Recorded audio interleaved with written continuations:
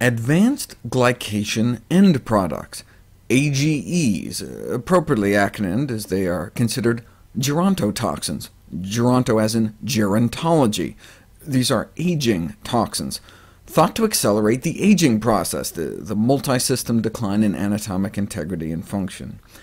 AGEs cross-link proteins together, causing tissue stiffness, oxidative stress, and inflammation. In the brain, they may contribute to dementia, in the eye, cataracts and macular degeneration.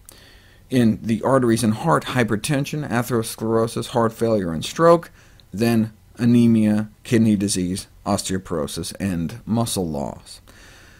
There are two sources of these toxins. One we can't do much about. They're produced internally as natural waste products of metabolism. But source number two is our diet.